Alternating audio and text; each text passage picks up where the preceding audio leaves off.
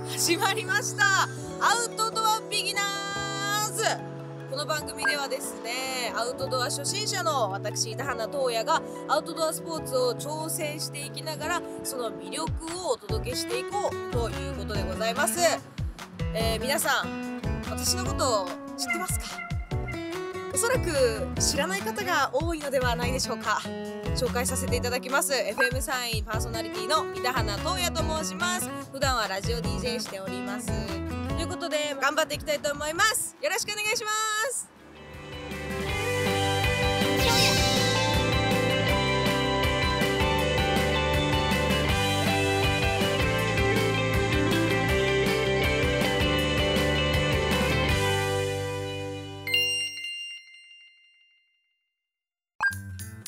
近ブームとなっているアウトドア。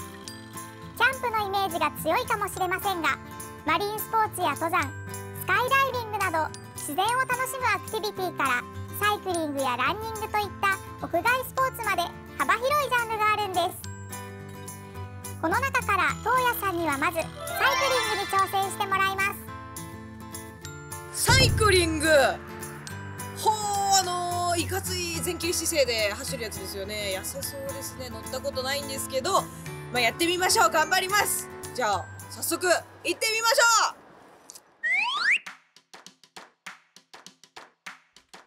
こんにちは。さあいらっしゃいませ。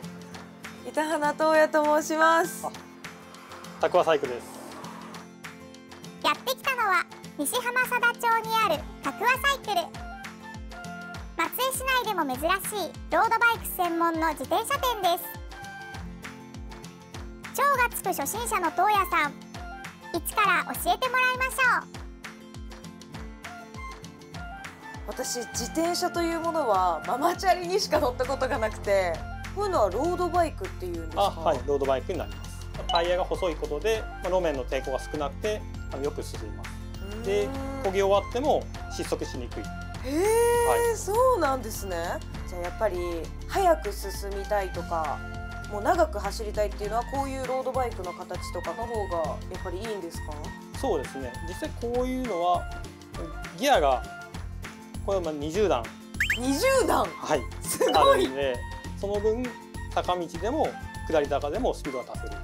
ちなみにちょっとこういうのって若いイメージがあるんですけど、はいプロとかそうツール・ド・フランスで走るようなバイクは200万、200万、はい、車買いますよね。そうですね、はい。すごい。えでも初心者とか私みたいに今まで走ったことがないような人でも買える自転車とかもあるんですか？そうですね。約11万ぐらいからとか。フレームがカーボンじゃなくてアルミを使ったりしてあってでカーボンと比べるとちょっと重たい。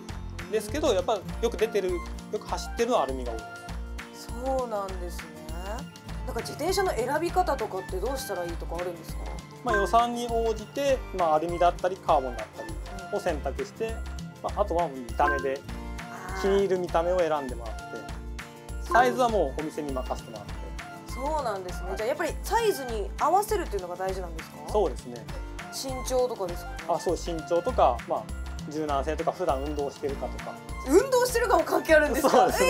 えー、やばい運動してないのがバレる速いポジションっていうのは前傾だったりするのでいきなりそれにしてしまうとちょっと初心者の方だときついのであ運動している方は意外にすぐ慣れるんでちょっとポジションも最初から前傾にしておくとか。ーそうなんですね。選び方を教わったところでサイズを確かめてみることに。で、はい。こうまたがればいいですか、はよいしょ！はい。靴を脱いだ状態で、ははいいかかとをつけてもらってここで伸びた状うーんあ伸びてます、態、はい。じゃあもうこのサイズはぴったり。はい。あとは乗るだけですか、はい、運動は苦手かもしれないですがよろしくお願いします、はい。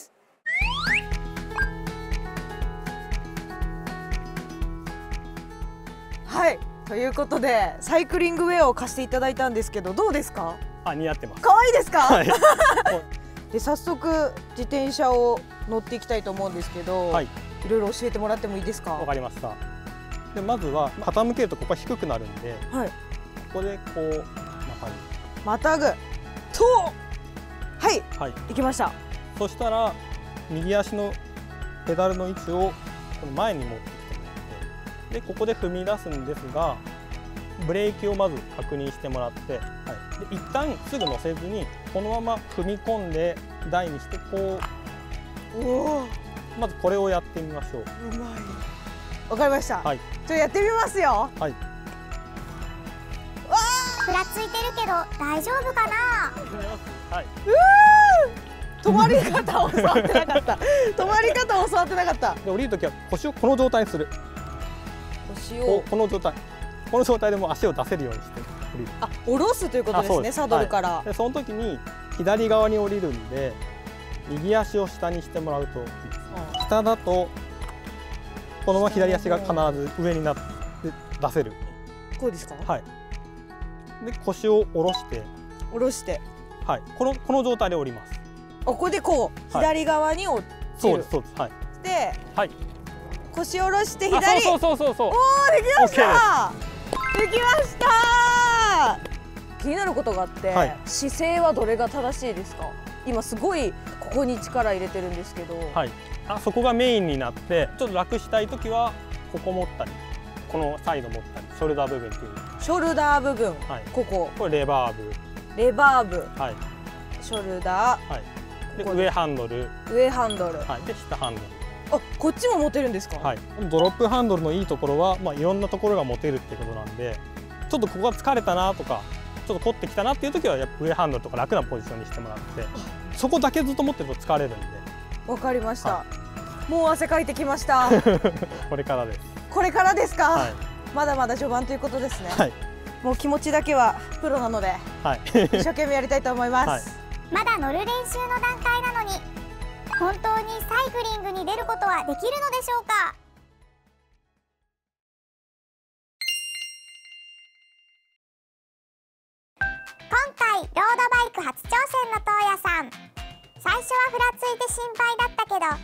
少しずつ上達してきたみたいです。すごい。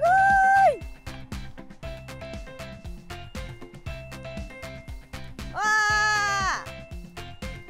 ー。わーちょっと慣れてきた。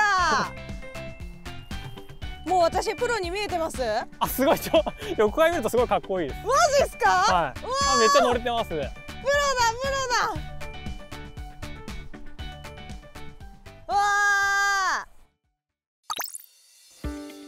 すっかり調子に乗ってきたところで次はいよいよ本格的なサイクリングへ。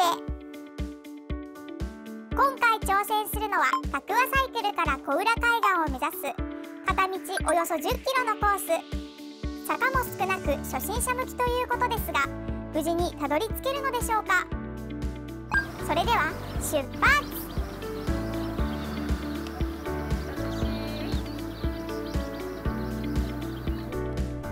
もうこれ私楽な乗り方も知れたんではい、肘を曲げる。そう、肘をちょっとはい。逃がしてやって。楽しい。よ、弱虫ペダルって知ってます？であーアニメ、はい、はい、はい。知ってます知ってます。あれでまたい一気に初心者で、まあ、いろんな人が見て。やっぱりその影響大きかったんですね、はわ曲がれない曲がれた東野さんだいぶ慣れてきたみたいですちょっと重たくしてみますか。はいちっちゃいレバー、押してもらって。押してみましたはい。ちょっとスピードは出しやすくなったと思います。はい出しやすくなりましためっちゃはいスピード、うわ今時速20キロも出てまあ、す出てます。ああ、いいペースですね。いいペースですか、はい。あプロなれますか？プロはもうちょっと、もうちょっと先かな。あ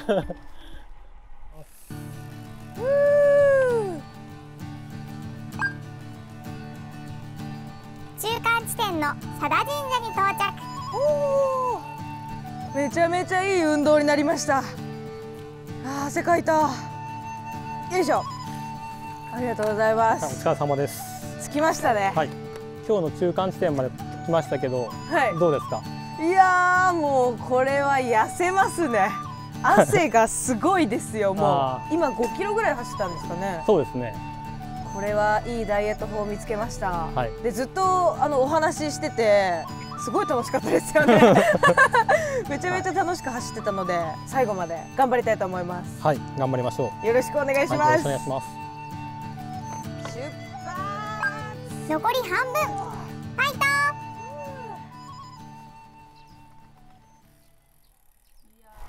楽しい。あこの道めっちゃ好きです。はこの道いいですよね。い最高のバイク道。あさすがロードバイク。スイスイ進んでますね。ーあーむずい。おー。一応今日一今日一の。おー。この坂道コースの終盤の緩やかな上り坂。初心者にはきつそうだけど頑張れめっちゃ太ももにきます あ、いい、いい、頑張ってます、頑張ってまおおあーいい運動だぜ。す。すごいすごい。めちゃめちゃ風を切ってます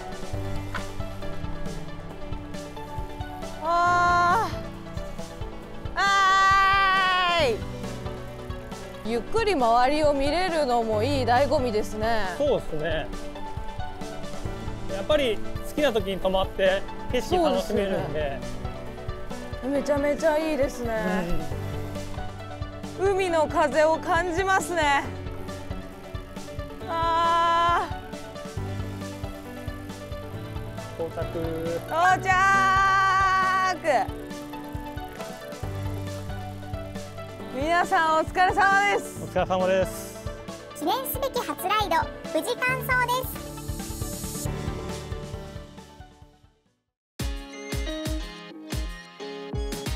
到着しましたね。おはい疲れ様でした,、お疲ありがとうございます、はい。今日は10キロぐらい走ったんですかね。はい、そうですね。今何時間で来れたんですか？何時間もかかってないか。はい。30分ぐらい、はい。これはどうですか？遅い方ですか？まあまあ順調。順調ですか、はい。このままこのペースが続けば、はいロングライドも。おはい。えどうですか？今日の私の走りは？あの元気があって、元気ははい、これ大事ですからが楽しよねみですね。はい。楽しみ、ありがとうございますもうだいぶ今日でいろんなコツをつかめた気がするので。もうプロになった気分で、はい次回もよろしくお願いします。すすごい疲れたんですけど、はい後ろのなんか2人いたじゃないあ、ですかそうですね。はい。あの2人がなんかすごい余裕そうに走ってて、はいえこんなんでへばってるのみたいな感じだったんではい。あの2人に負けないように次回頑張りたいと思います。はい。頑張ありりましょう。がとうございます。次回も頑張ります。今回走ったコースはこちら。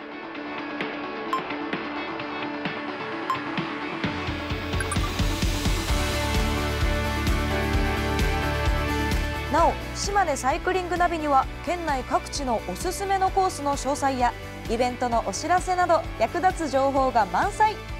ぜひ参考にしてみてください。アウトドアビギナーズ次回もお楽しみに。